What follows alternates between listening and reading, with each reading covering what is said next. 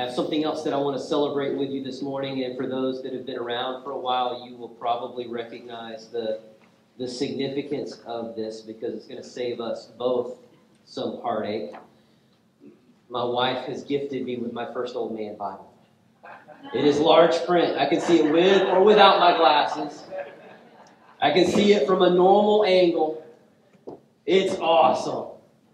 I have been struggling with all kinds of body parts that have been falling off and breaking and not working right over the last little bit, and uh, I am losing the battle with my eyes. And uh, I, I, told Chris as I, I, celebrated when I first came in this morning. I said, "Hey, Chris, I got look what I got." And he said, "You could just get new glasses." I said, "Or I could wear them." Like either way, like there's all kinds of options here. But the one we went with was a new Bible, and so I am thankful for that. Um, and you will be too. So now I will be, you know, saying the right things when I read it and not misquoting scripture and doing this and all that weirdness. So that's going to be awesome this morning, and and I am excited with you. I am excited uh, just about this whole day. Um, if you didn't know this, Easter is scary for pastors for a lot of reasons. One is, is anybody going to even show up? Uh, the other is what's going to go wrong. Who's not going to show up to be a greeter or nursery? What machine back there is going to not work like it's supposed to? Just a whole lot of stuff that can go wrong.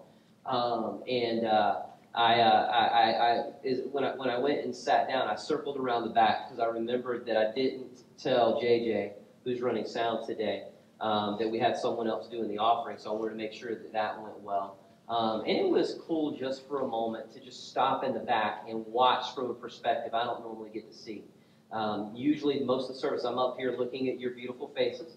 Uh, but it was awesome just to be in the back and see uh, our students taking up the offering, seeing people do what they're supposed to do, um, and just working this morning as an act of worship so that we together can enjoy this celebration. Um, it's just awesome to see that. It's, it's also great um, because Easter, a lot of times, is kind of like a family reunion. It's when people who have moved away come back and join us. It's, it's when we, we all kind of mark it on our calendar. I know it's impossible to do this every Sunday as much as every pastor would love for it to happen. But it's one of those days we all kind of mark on our calendar. Like we're going to show up on Easter no matter what else pretty much is going on in life. And so it's just great to be able to see so many of you today and to spend time with you. Uh, but the priority, of course, is that we celebrate our risen Savior and all that that means to us. And today we're talking about how, because of the resurrection, we have the opportunity to have a restart in our lives. Was thinking this week about my first real job. Now, my first boss might not appreciate me putting it that way, but when I was in high school, I worked at a, at a chicken restaurant. And so it's the usual fast food thing, right? And so then after that, I had my first real job, like in an office with all the stuff that comes along with that. And uh, this was in the mid 90s. And so in that job was the first time I ever worked with computers outside of like the dinosaurs that we used to have in our classrooms at school. Um, and so that was where I learned about restarting your computer, right? That's what you're always told. It doesn't matter what goes on with your computer. Like it can freeze, smoke can be coming out of it, the screen can be cracked, uh, child can be sitting on it, your husband can throw it out the window, and you call tech support, and what's the first thing they say? Did you restart it? it it's no longer in one piece, but did you restart it? Well, I did some research today or this week because I was curious to see, like, like is that just like the mythical, magical fix all, uh, or does it actually do stuff? And, and, according to some of the tech blogs that I read, and some of you that are like actual computer geeks knew this better, Noah. Um, but but it actually does fix some things. It actually does clear out some stuff. And, and this is what I thought was interesting on multiple blogs that I read was that it, it erases I wish I had your mind for a second right now, Noah, honestly, so I could challenge you and get the right terminology. So forgive me, because this is like the best I can come up with. But it just kind of it, it, kind of cleans out some of the bad data and some of the bad memory, and then literally brings it up with a fresh start. In, in, in a sense, it, not that you lose stuff that's stored there permanently, but the stuff that's not supposed to be there just kind of gets wiped away and your computer literally gets a fresh start. It gets to start all over again as if none of that bad stuff had happened. And I thought, man, what an amazing picture of the gospel because when we confess our faith in Christ and acknowledge Him as Lord, He allows us to restart. He literally wipes out all of the bad stuff. I get this terminology because I studied it for like 150 years. So, right, like all that t- sin, all that baggage, all that depravity, all of that death, all of that worry, all of that guilt, all, all of that stuff just gets wiped away. And we get started. This morning, we're, we're going to start with the resurrection story, but then I want us to zero in on Peter and, and see that how that changed him. How this amazing process that he mm-hmm. walked through, not because of him, of course, because of what Jesus did, but literally just washed everything clean and all the bad stuff that he used to be. And it gave him a chance for a fresh start. And what I want you to walk away with this morning knowing is that wherever you come from, like today could be the day that you walk away with a fresh start.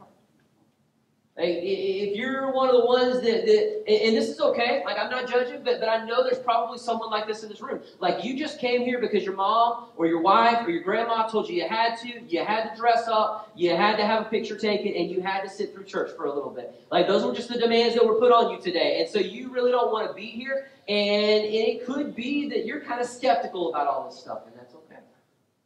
On the other end of the spectrum, you might be the person that's been boohooing and crying all day long already because you are so thankful for what Jesus has done. You have no doubt. You believe he was born of a virgin. You believe he lived a perfect, sinless life. You believe he died not just because of the Pharisees, but because of God's plan and for your sin. And you believe he walked out of the grave. And even without a Polaroid picture of it, you know it happened. And so we've got both of those spectrums here. And my hope is to encourage both of. And for the one over here that believes it all, I want you to leave celebrating and cheering, understanding what God has done in your life and what He has set you free from and to. And for the one that's skeptical, I, I hope that maybe I can give you a little bit of something that, that, that will begin to build that faith in you. Maybe even today would be the day that you would believe. We're going to do that by walking through, in a sense, a, a long chaotic roller coaster of a week. It began on Sunday, what we call now Palm Sunday. This was the day that Jesus came into Jerusalem. He had been working his way there for some time. And he'd been telling his disciples specifically, and this is important, specifically, I am going to go to Jerusalem. I'm going to die at the hands of the Pharisees, and then I'm going to raise again. And the disciples didn't hear any of it. None of it. It's like that time that you planned a date with someone and they said, I'm going to meet you at Starbucks on Thursday, and you showed up on Wednesday. Because no matter how many times they said, I'll meet you there at Thursday at 6 o'clock, you heard Wednesday at 6 o'clock because that's what you really wanted, right? That's the way it works. Like we hear what we want and what connects best with us. And that's what the disciples were doing. They wanted Jesus to go to Jerusalem to set up an earthly kingdom. So no matter what he said, that's what they heard. He said, I'm going to go to Jerusalem. I'm going to die at the hands of the Pharisees and I'm going to be raised again by my own power. They said, Cool, high five. You're going to Jerusalem set up your kingdom. That's awesome. I can't wait. And when they got there on Sunday, that's exactly what the disciples must have thought was going to happen. And then Jesus taught in the temple, and it was a busy it was a crazy week. And then on Thursday, things began to change a little bit. Thursday evening, they gathered in this place, in this room, in this upper room. Jesus had told them to go get this stuff to prepare for the Passover, and the disciples had brought it all together, and they went up in that room expecting just the, I'm sure, the average uh, celebration of the Passover. The Passover was their celebration of God delivering his people from Egypt. And so they would have been excited about all of that. They would have been looking forward to it. They would have been walking through. It's a really neat meal if you've never had it broken down for you. Every element in that meal pictures something from how God delivered his people from. They went through all of that, and then Jesus changed things a little bit. He took the bread, he took the wine, he, he began what we call the Lord's Supper. Now, a picture not of physical deliverance from another nation, but spiritual deliverance from sin and the grave and all of those things. They still didn't get it. That came to a close. They, they began to walk the path that would have wound up to this place called the Mount of Olives. And at the Mount of Olives, Jesus pulled them together with, with a time of prayer, getting them ready for everything that was about to take place. Now, Jesus prayed, but the disciples slept because they were like us, right? That's what we would have done and you have a good meal, you have a good church service, you go home, take a nap. Like that's what they wanted to do. Jesus like, stay up and pray. Okay, we'll pray now. That whole thing was going on. And suddenly men with torches and with weapons show up, and the whole night just kind of disintegrates in front of them. And over the next several hours, their worst nightmare became a reality. Even though back over here Jesus has said, I am going to Jerusalem, I am going to die, and I am going to rise again. As it all began to happen, they just didn't know what to do. And so the guards came, and Peter pulls out a sword, and he cuts off a guy's ear, and then Jesus heals it. Because that wasn't what was the plan. And the guys get afraid when Jesus gets arrested, and so they all run. Every one of them. Jesus said, I'm going to go to Jerusalem. I'm going to die, but I'm going to rise again. It's going to be okay. They didn't hear it. And so when things went south, they, they all ran. And here, for the skeptic, here's one of those spots. I'm going to try to point some out to you as we go through things this morning. Here's one of the spots where I feel like we see the reliability of Scripture in the details that it gives. If I were telling the story, there would have been a fight scene, I watched uh, Avengers, uh, Infinity War over the last couple of days. It would have been one of those like, like massive fight scenes, right? The disciples would have pulled out their weapons and they would have gone to it, but that's not what happened. You've got one guy swinging and missing and barely taking off in here. But here's what I love. One guy ran away naked. Because as the guard reached out and grabbed him, he left his clothes behind. Like, you don't just make those things up. Like, that's one of those details, I believe, that we were given within that encounter that tells us this is something that really happened. Because you know some of you had that happen in high school. Just to say. But the night goes downhill from that. Those that were brave enough to come back watch as Jesus is questioned and beaten and questioned and beaten. Those that are brave enough to stand in the crowd watch him on trial and then they watch him massively beaten again. And I'm not going to go into the gory details. I, I, just don't do that when it comes to the story. I feel like it's, it's powerful enough without it. But suffice it to say that the beating that Jesus suffered before his crucifixion usually killed people. And he stood up under that, and then he carried my cross and your cross, and then he was nailed to it, and then he died. And as, as Chip said before he sang, I, I want you to I want you for just a minute to put yourself in the place of one of those disciples. That all your hope, all your dreams are on this man. You've left everything behind. You've left your job behind. You have left your home behind. You have followed him. You have traveled with him. You've seen him heal. You have seen him feed 5,000 people with a little boy's lunch. You've seen him walk on water. If you're Peter, you almost died in the process. Like you've seen all of this stuff take place. And now he's hanging on a cross struggling for breath. In a moment of intense pain that you can see all over his face, he says it's finished. And he goes limp and he's gone. Can you imagine for a moment the crushing blow that that was? It's hard for us because for those of us who genuinely believe, that we, we take it all on faith, we, we, we can see it in our minds and we believe 100% that it happened, we view it through the empty tomb.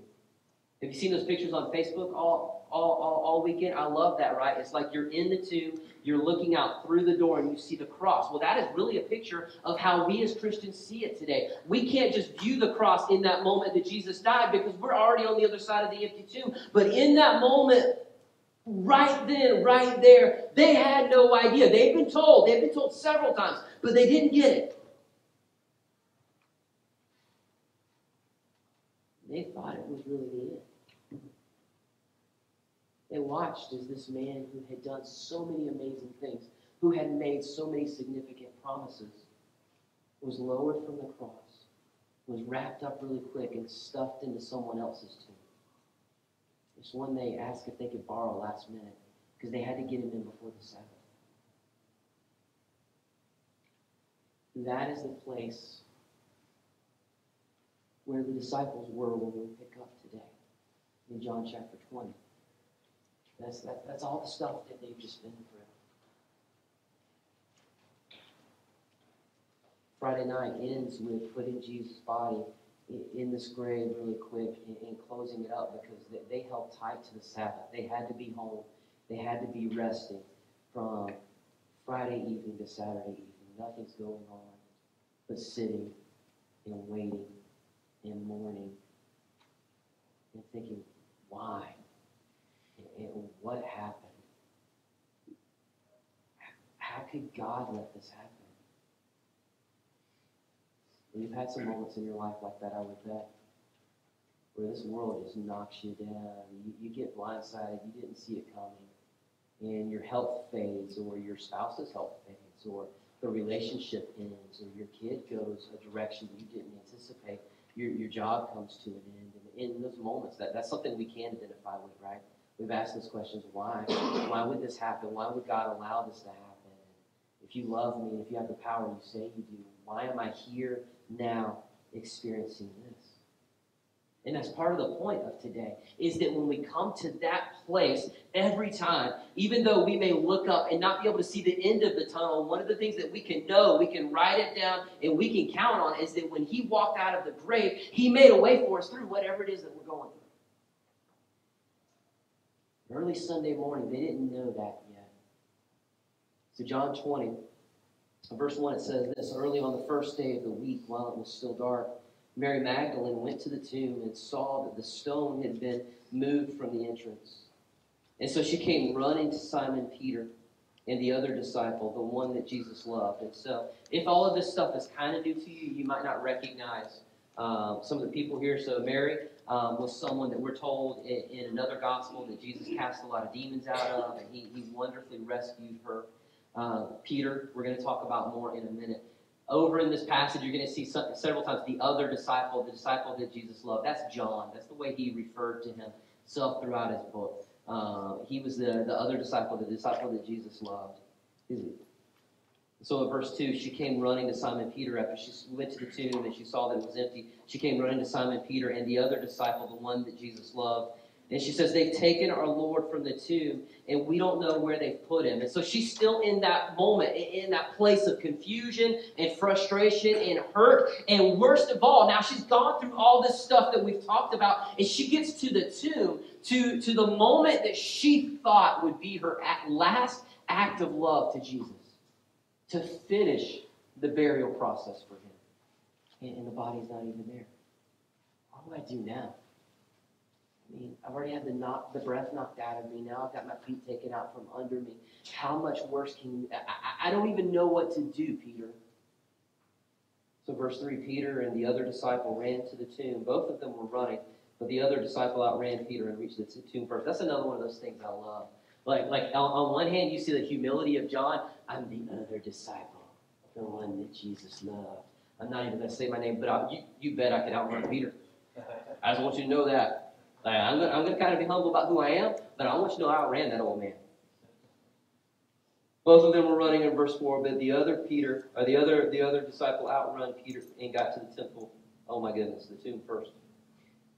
He, meaning John, bent over and he looked at the strips of linen lying there, but he didn't go in. Then Simon Peter came also uh, behind him, and he went straight into the tomb. There's that amazing personality of Peter, right? I can't get there first, but I'm going to charge right in. I don't care what's going on. The guards might be in there, snakes, scorpions, who knows? But I'm just going to run right on into the tomb and see what's going on. Went straight into the tomb, and he saw the strips of linen lying there, as well as the cloth that had been wrapped around Jesus' head. The cloth was still lying in its place, separate from the linen. Finally, the other disciple who had reached the tomb first also went inside, and he saw and believed. They didn't understand, though, from the scripture that Jesus had to rise from the dead. And the disciples went back to where they were staying. So at this point, we have one who believes. Three that have seen the same thing. Mary and Peter and John have all been to the tomb. The other Gospels tell us a few others have been there uh, as well. Mary didn't go initially by herself. There were several of them in her group that went. But of the group that has seen so far, they've seen the empty tomb. They've seen the grave cloths lying there. By the way, is another significant detail because if you steal a body, you don't normally fold the clothes up and put them back where you got them. You either take the linens with you or they just fall on the ground or you don't care because you just want to steal the body. We're told the clothes were still there, that John saw it and he believed. He didn't understand it all, and I think that's another thing that we need to learn about, about our faith and about what it means to follow Christ. Like you can believe in him and you can begin to follow him without knowing all the details, without understanding it all. John still didn't understand that Jesus had to rise from the grave. John still didn't understand all the theology behind what Jesus did on the cross. John still didn't know what was going to happen next. But in that moment, he a lot of times that God calls us to moments like that where we don't have all the gray filled in and we don't know how things are going to turn out. And He doesn't He doesn't call on us to know all of that or to grasp all of that, but He always calls on us to believe and follow. Eventually, Peter's going to do that. In the very next chapter, we have this scene where the disciples have gone back to Galilee and they're, they're waiting actually to meet Jesus and discouraged still and confused about everything that's going on, a group of them go back to fishing. It's almost like they just gave up. Like, we're just going to go back to what we know. So they go out and, and, they're fishing, and Jesus calls them back to the shore. And that's where he has that moment with Peter, right? We'll talk more detail about that in a moment. But, but, but it is there on that beach when Jesus has that conversation uh, with Peter that Peter finally gets it. So, over the next few minutes, I just want to talk about how that changed Peter because when he finally understood the resurrection, that's when he got his restart. That's when we see clearly through Scripture that the old Peter is gone and this new Peter comes. The first part of that that we see is that he moves from fear to faith. Think back over the last few hours, uh, uh, well, the last few days that, that, we, that he has gone through. He, he saw Jesus die on the cross, and when he saw that, he was hiding. When, when they came to arrest Jesus, Peter ran. When someone spotted him and recognized him, Peter denied being a follower of Christ. Peter was afraid. And before we cast too much judgment on Peter for his fear, I, I think we need to own up to that, that one of our most significant, maybe not our greatest, but one of our most significant fears is the same one that Peter experienced. And, and that's being different because of our faith, being called out because we are Christ followers. And you go back a decade or a couple of decades ago, and there was a noticeable difference in, in, in our culture within this country where you could be pretty open about your faith and nobody thought uh, uh, anything about it. But I know more people now who, who, who are even friends who openly attack my faith. Never experienced that before the last five years or so. It's getting harder and harder in this country because what we believe and what we hold to in this is so radically different from the lifestyle that we're being told to embrace. We're being told go after money, get all of it you can because that's the most important thing that you can have. And if you don't have money, at least have a lot of sex because that makes everything better. Run after every relationship you can because it's going to fill that void in your heart. And if you can't have that, then, then just throw yourself into this or throw yourself into that. And don't worry about the consequences for when things don't go right because you can just avoid them. Life very much contrary to God's word. And when we try to faithfully live up to what God's word we know that fear that Peter felt. Unlike other places in the world, we may not have to worry about losing our lives over it, but, but you may very much have to worry about losing your livelihood. I can tell you that if you go into sales, if you go into law practice, if you go into the business world, it's going to be very hard to hold on your integrity. It's going to be very hard to stand for everything that the Bible says and still move ahead because it's going to make you different. Paul wrote a letter to a young man that he had mentored and that he loved, that he called as a son, named Timothy. And Paul had called Timothy and he had trained him and he had mentored him, and then he put him, we believe, as a pastor in the church in Ephesus. And, and Timothy had a hard time there. It, it was just difficult. A lot that was going on, and there were people who were standing in direct opposition to what Timothy was trying to do. And so Paul wrote him to encourage him. He said, First, remember your calling. Remember when we laid hands on you. Remember the faith that's been passed to you from your mother to your grand or your grandmother to your mother and to you. Remember all that God has done in your hearts. And then he says this. The Spirit of God did not give us a spirit that makes us timid, but that gives us power and love and self discipline. That's from 2 Timothy 1 7. And so we all face that kind of fear that Peter did, but we don't have to let it run our lives. We can rely on God as He learned to do eventually, so that we have power in our lives, so that we have love in our lives that comes from self discipline. But the core of all of that is faith, because that's what happened in Peter's life. He moved from fear to faith. When he saw Jesus as the risen Lord, as a man in the flesh who he could touch, that he could talk to, who ate with them, who taught them, and did all the stuff that he did before, but much more. Changed Peter. And then you see a guy who stands up in front of crowds of thousands and preaches the gospel. You see a guy who goes to jail multiple times and isn't swayed from his mission. You see a guy that probably only about a month after he was running for his life in Acts 4 stands in front of the same men who condemned Jesus to die. And those same men say, Stop doing what you're doing. And Peter's response is, Do I need to be obedient to you or to God? Because I can't help but speak of what I've seen. The fear was eradicated by faith. One of the things that we can take from that is that this isn't a mystical thing that happens, but when we truly place our faith in who Jesus is, and we know that we know that He walked out of the grave, we know that we know that He is at the right hand of God now, we know that when we pray, He hears us. We know that He intercedes. We know that He works on our behalf. We know that He has set us free. We can move from fear. We also see in Peter that he moved from impulsive to being an amazing and solid leader. I love that part of Peter where he just speaks without thinking.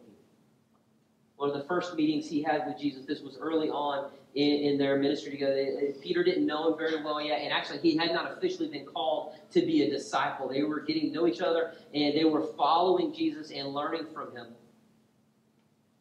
And so the guys had been out in the boat and they'd been fishing all night long. And, and, after they pull in, they, they sit down for, for Bible study. Isn't that great? For those of you that work nights, like that's a lot of fun, right? You work all night long and you come to church the next day. So that's what happened. But when Jesus finished up the lesson, he turns to Peter and he says, Let's get in the boat and push out, and I'm going to tell you where to drop your net. I can see the look on Peter's face it's the same look some of you guys give me when I'm like, you need to do this. And you're like, yeah, right, preacher. I got you. Peter looks back at him and says, We've been fishing all night. The implication is we're the fishermen. We know what we're doing. I love the sarcasm. He says, But because you say so, we'll do it. That might not have been how it happened. That's how I picture it. All right, Jesus, yeah. We're the fishermen, but because you say so, we'll go out there. They did, and they could barely even get the fish in without sinking the boat. That wasn't the last time that Peter stuck his foot in his mouth. He kind of did it over and over and over again. But I think one of the most significant ones is, is not too far before Jesus went to the cross. And he, he's got the disciples together. And he's asked them, who, who do people say that I am? And all these crazy answers come out of it. Well, who do you say that I am? And Peter says, like, the smartest thing up to that point that we have in Scripture that he said. He said, You are the Christ. You are the Son of the living God. He's like, You're exactly right. Because you didn't get that by yourself. God told you that. And I'm telling you that on the confession that you made, that's the rock I believe Jesus was talking about. He said, You're Peter, but this is a rock. This confession of who I am is a rock. I'm going to build my church on that. And then the conversation changes, and Jesus says, Hey, by the way, now this might sound familiar. I'm going to go to Jerusalem, and I'm going to die, and I'm going to rise again. And Peter does exactly the same thing we would have done. Takes Jesus by the arm and pulls him aside. I'm not going to let that happen. I'm not going to let you die. Get Jesus' response. Turn to him and say, Get behind me, Satan. You're a stumbling block to me. You do not have in mind the concerns of God, but merely human concerns. Matthew 16, 23. Man, that is us to a T. We pray, God, I want you to do this. Now, see, here's the thing. Peter thought he had genuine motives. Peter thought he wanted to protect, protect Jesus' life, but the reality was he wanted to protect Jesus so Jesus would establish a kingdom so that Peter could have some notoriety. The same way we are. God, if you would just give me this job so I could get a raise, I'd give some more to the church. And I get my boat, and I get my big screen TV, and I get my SUV, and we're going to go on vacation more. God, if you would just bring this woman into my life, then we would serve you together. But mostly, I'm just going to love her, and she's going to make me feel good, and we're going to have kids, and it's not all be about me.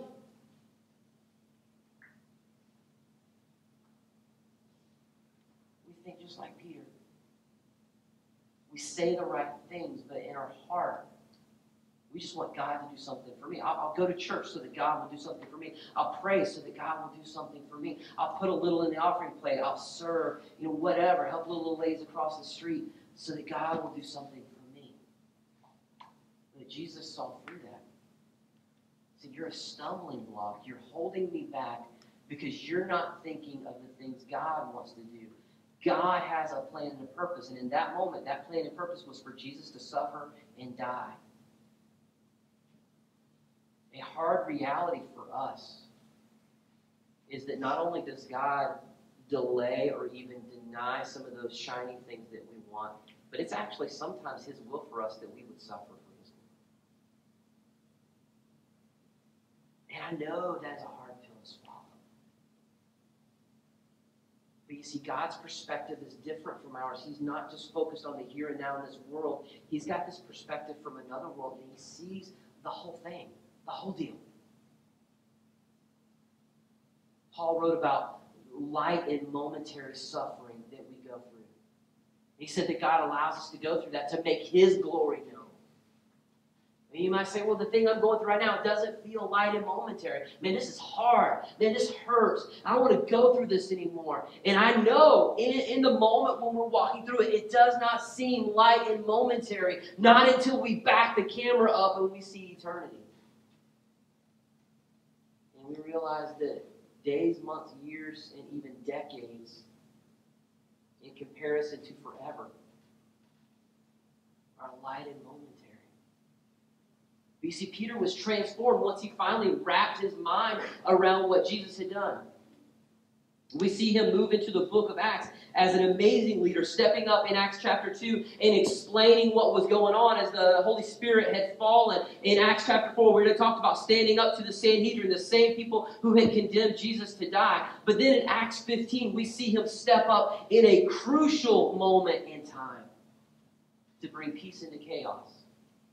The backstory to that is that as the gospel had spread throughout the known world at the time, and as people other than Jews were coming to know Christ, it began to cause this divide. You had the ones over here that knew Christ, but they also had been Jews. And so they took all of those amazing, uh, not sacrifices, but the, the feasts and the celebrations from the Old Testament, and they just kind of put it on top of Christianity. They, they believed in Jesus, and Jesus was their hope, and they just integrated that stuff from the Old Testament, and that wasn't necessarily a bad thing. But then you have these new believers that didn't do any of that Old Testament stuff. They believed in Jesus. Their faith was secure in Him, and all that, that was all that they knew.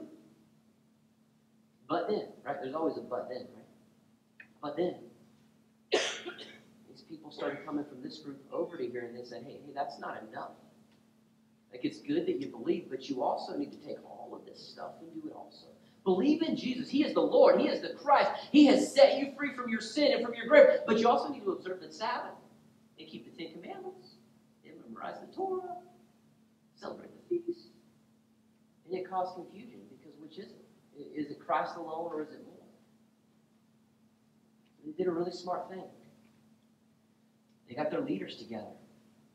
They, they didn't bicker. They didn't have a mammoth church split, take sides, cast stones vote the pastor out. Like, they didn't do that stuff. And they got their leaders together, and in, in Acts chapter 15, we see that scene. And Peter was one of the first ones to stand up and say, wait a second. We've been there from the beginning, and we heard from the beginning the gospel is Jesus, and that's it. And by the way, I was one of the first ones that God called to go to the Gentiles. And I saw that when I went to the to the Gentiles and I preached the gospel, the good news of Jesus, that He and He alone can save you. When I told them that, they believed, and we saw that with the manifestation of the Holy Spirit. So God is being consistent. He worked that way with us. He worked that way with them. God is the same. And salvation is rooted in Christ, not the stuff that we do. And the guy that was like forever foot in the mouth through what Christ did in him, stood up at the right time in the right moment and said exactly what needed to be said. One of the things that we, not intentionally, but I think that we just by the nature of the way we do church, have greatly overlooked in our faith is that it's not just meant to be like walk an aisle, bow your head, say a prayer, and then just kind of wait out till eternity. The, expectation is that we learn and then grow, and that God does a work in our hearts. I promise you that from running for his life, from saying the wrong thing, from cutting off Malchus' ear, to the guy who stood up in that room and said the right thing at the right time, a whole lot had happened. A whole lot of life experience, a whole lot of time on his knees, a whole lot of time searching and studying God's word. And that was what transformed him and made him what he needed to be right here. And by the way, a part of that also includes all that nasty stuff that we don't want to go through. It was something that I had debated on sharing with you today, but I think it I think it'll be good for us. If I'm remembering correctly, if you want to go with me, this is going to be in First Peter, towards the end of your Bible, right after James. It's First Peter chapter four, verse twelve. Listen to this wonderful change. Now, of course, we know we believe, and Peter actually wrote this um, that, that, what we hold in our hands wasn't just the thoughts and the ideas of those that wrote them. The Holy Spirit literally, Peter wrote, carried them along as they gave us God's word. And so, so this is coming from the Holy Spirit. But we also have evidence that he used the people, like he used their personality, used their knowledge, and all of that. And so I, I think this is this is definitely preserved and perf- made perfect by the Holy Spirit working through Peter as he wrote. But this is also coming from, from, from the life experience of a guy who used to Uh, the guy who said this, the guy that said, I'm not going to let you die because that ruins my plans. I, I will die first because it's all about what I want to happen. Later in his life, he wrote this, 1 Peter chapter 4, beginning in verse 12. He says, Dear friends, don't be surprised at the fiery ordeal that has come on you to test you, as though something strange were happening but rejoice inasmuch as much as you participate in the sufferings of Christ, so that you may be overjoyed when his glory is revealed. If you're insulted because of the name of Christ, you are blessed, for the Spirit of glory and of God rests on you. If you suffer, it should not be as a murderer, a thief, or any other kind of criminal, even as a meddler. However, if you suffer as a Christian, do not be ashamed, but praise God that you bear the name. What an amazing testimony of transformation, what God had done in his heart because the, the resurrection became real, because the hope that Peter had had become real. Later on, he could write, and we believe that when he wrote that, he wrote to people who were suffering because of their faith. Very specific. They weren't just having a bad day, they didn't just lose their job, it wasn't family issues. People were suffering and dying because they believed in Jesus. And he said, be surprised by this thing that you're going through, a fiery trial, he calls it. But hold on for God's glory and give praise to God that you would bear his name as you walk through this to let him shine in you. Last, we see that Peter goes from failure to unstoppable.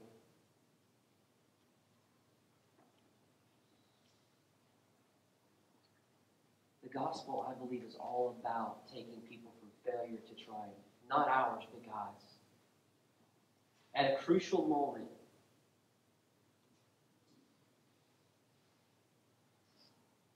in Peter's mind at least, he must have felt like he, he let Jesus down in, in the greatest way that you can do it. In that scene between the upper room and going to the Mount of Olives, Jesus again said, Now that we're here, I'm going to die. I'm going to rise again. Peter said, That, that can't happen. I, would die first. And Jesus said, Actually, I'm going to tell you the truth. You're going to deny me three times before morning. Peter, of course, nah, that's not going to happen. But when the heat was turned on, Peter ran. And then the first stop where they took Jesus was they took Jesus to the father-in-law of the high priest. And in his home, Jesus was beaten and questioned. And just outside of the courtyard, Peter and John were there. John knew the family, and so John was able to sneak them in. And so person after person in that scenario recognized Peter. You've got a little girl that says, Hey, aren't you one of his disciples? No, no, that's not me. You're crazy. I'm not that guy someone else. Hey, wait, you sound like a Galilean, and all of them were from the, the place called Galilee. Like the difference between our accent and all those people from up north, right? Like you can tell who's from where, right, by the way they talk. And it was the same for them. They could tell that Peter was not from their area. Like he's one of those northern people, right? Uh, love you all. Peter's like, no, that's not me. Another guy, wait, I saw you that is not me. He, he actually calls down curses. It's not me. It's another guy. I'm not who you think I am. Horrible, horrible, horrible in his mind. I believe that's why even after he saw the resurrected Jesus, we see Peter get in a boat and go back to fishing. Because that's what we do when we feel like we've blown it so bad we can't come back. And the enemy loves to capitalize on that. He loves to use that to just destroy relationships and to keep us from reuniting, especially to keep us from reuniting to God. And I can promise you that's what was going on in Peter's life because Jesus actually said, Satan's asked to sift you. And that was probably going on in that moment. You're a failure. You let him down. You are no good. You said you would die for him. He died alone. And now he's resurrected. He knows what he did. He can never come back. So Peter in a boat he goes out. He goes back to fishing. But as Jesus is so prone to do, he tells the story of the prodigal son, where when the son realizes he could come home, and he does, the father welcomes him and wraps his arm around him. He tells the story of the sheep, and he says, Doesn't the shepherd leave the 99 to go after the one that is lost? And that was what Jesus did that day. He stood on the bank and he said, Bring the boat in. And he fixed them breakfast. And then he takes Peter, specifically Peter, and he takes him for a walk. And on that walk, he looks at Peter and he says, Peter, do you love me? Lord, you know I love you. Feed my sheep. And Peter must have felt a little better. And Jesus turns to him again. Peter, you love me. You know I love you. I mean, come on, you know everything. You know my heart. You know I love you. Feed my sheep. Probably feel a little bit better now. Maybe confused. And then he looks at him again. Peter. Peter. You love me. Why would you ask me that?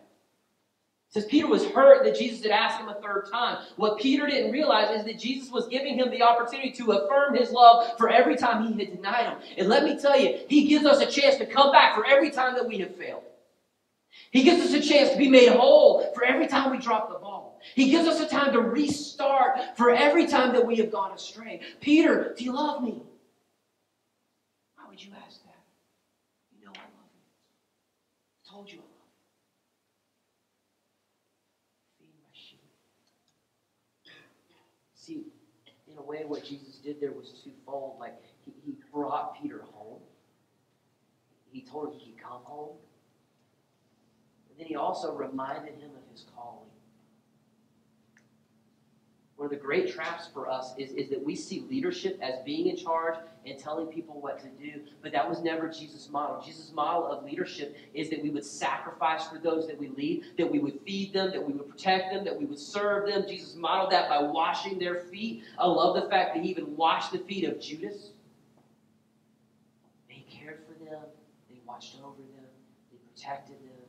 And in essence, what he was saying to Peter was, You do that for my sheep. Now.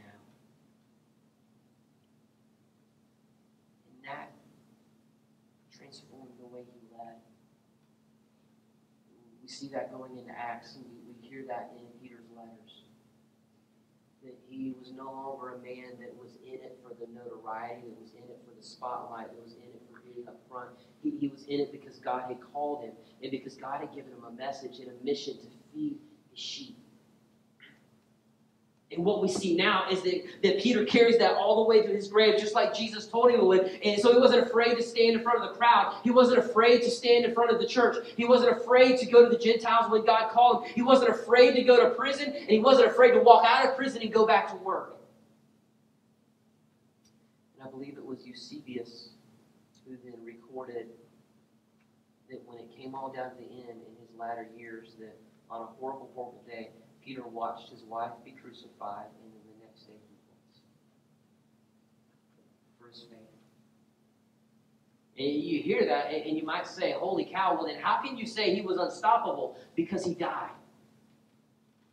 Because when Paul would later write about the resurrection, he says a couple of things. One is in 1 Corinthians 15, he says, if, if there is no resurrection, then our hope is in vain. Like we might as well not do any of this stuff if Jesus didn't walk out of the grave. But not only is all of this useless, like we are to be pitied above everybody else in the world because we got huckstered. Like we believed a liar. We fell for it, and it's all meaningless. We were wasting our time coming together and giving money and praying and all of that if Jesus didn't walk out of the grave.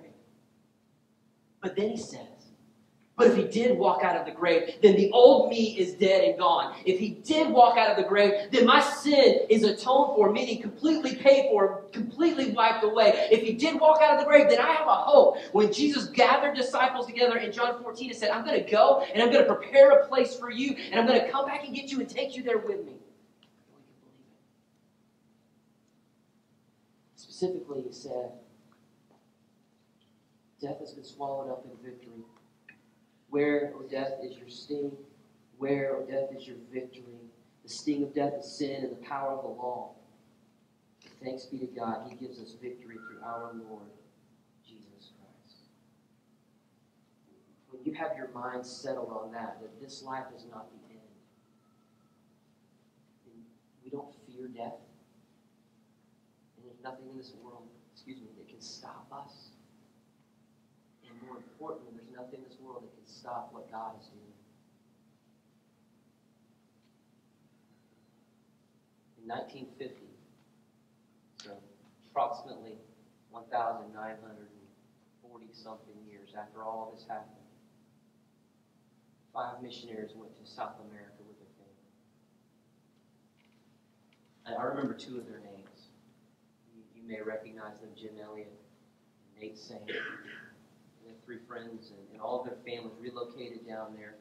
And their desire was to take the gospel to a place where no one else had taken it. And so, because they were pilots, they used that to their advantage. And so they would fly to these tribes who lived around the Amazon. And, and they would come in and they would drop supplies. And the plan was that we'll drop the supplies and we'll give them food and we'll give them things to build trust and to build relationships. And they knew that these tribes were hostile. They knew that they were dangerous, but they were willing to accept the risk because death is defeated. Like there is nothing that we need to be afraid of. We can go in, we can reach out to them. And you know, in America, we've accepted this lie that we can be safe and we can be comfortable, we can be well fed. We've missed the fact that that is not the gospel. The gospel is suffering. The gospel is risk. The gospel is doing whatever it takes to take that message to someone else. And they accepted that. And they knew the risk when they landed on the beach that day. But their hope was that they were beginning a relationship with these people. When they landed and got out of the plane, the men that they didn't see that were in the wood line just beyond their vision rushed them, speared them to death and left their bodies there.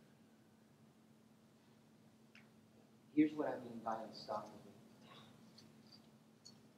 It's just what we can do in the flesh, if there is no resurrection, if there is no God, there is no Christ, then it all stops there. It stops with five dead men on a beach.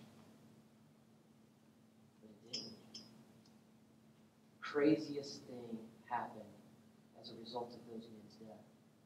One is their families stayed. And their families were crucial in reaching the people who had killed those men. Not only that, when the story of what happened to them began to infiltrate our college campuses on America, hundreds of students answered the call to missions and went all over the world for the cause of Christ. You see, when it's not about us, when it's not about me and it's not about you and it's not about what we do physically, when we understand that we are tapping into an all powerful and almighty God for whom the grave is not a barrier, it's not even an afterthought, then the work moves forward. It doesn't shrink back from death, it doesn't shrink back from fear, it doesn't shrink back from attack. And so, something you've seen, which I think is one of the greatest evidences for the resurrection,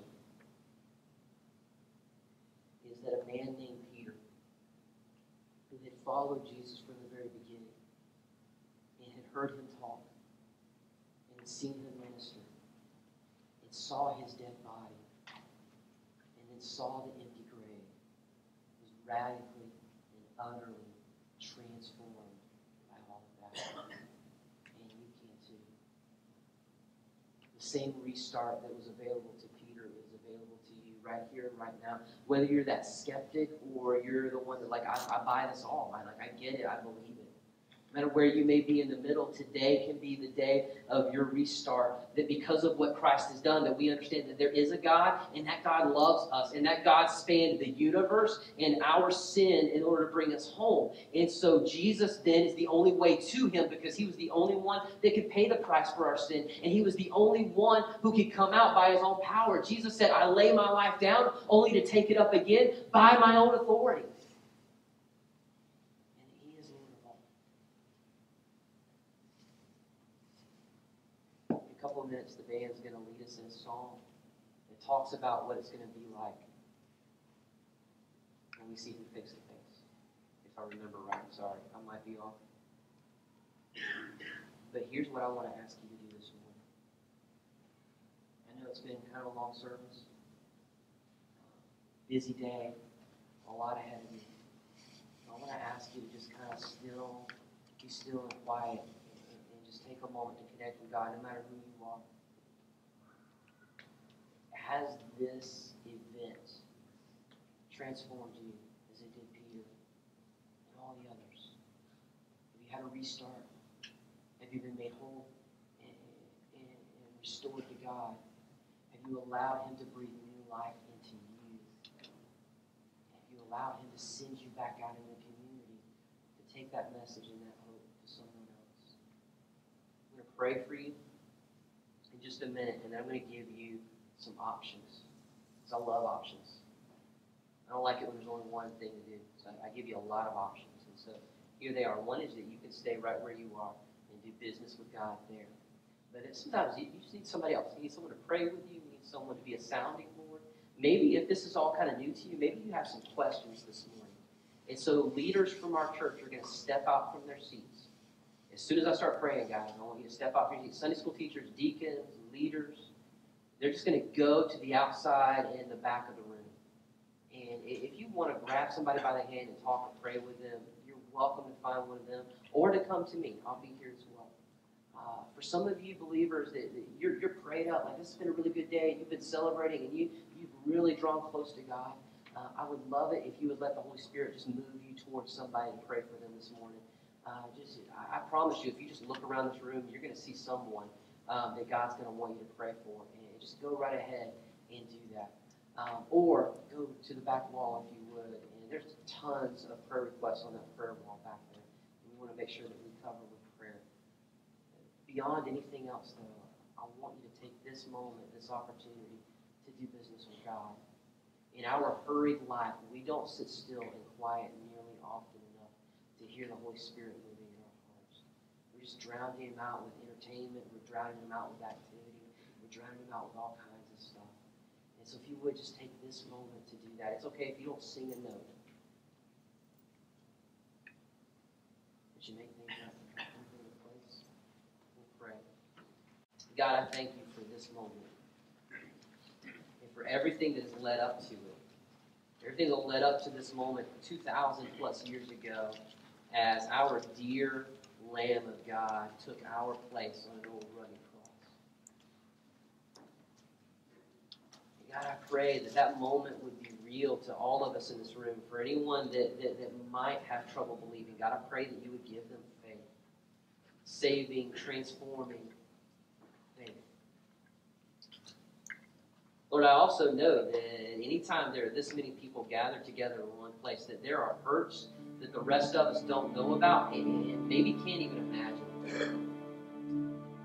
And so I pray, God, for healing in those dark and hurting places. God, I pray that right now in this moment that someone would feel you just wrapping your arms around them, touching them, healing their body, healing their heart, healing their broken spirit.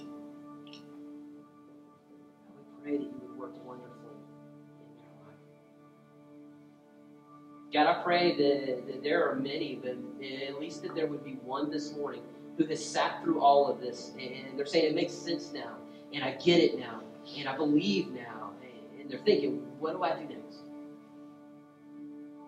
And I pray, I praise you for that. I also pray that for that person, you would help them to just draw close to you. And maybe just offer up a prayer, or something like this, says, I believe that you are my God. I believe that you have loved me and sent your Son believe that he lived a perfect life. I believe that he died in my place. And I believe that he rose again. Just something that simple, God. And I pray as your word says that you give them peace and assurance that at this moment, right now, they are sealed with you and with your Holy Spirit. God, I pray for the one who's looking for a church to connect to. I pray for the one who's looking for a place to minister. I pray for the one who maybe has a big decision. They're just not sure what to do. That you would help them to find someone to pray with this morning. For others, God, I pray that you would lead them through your Holy Spirit of who to pray for.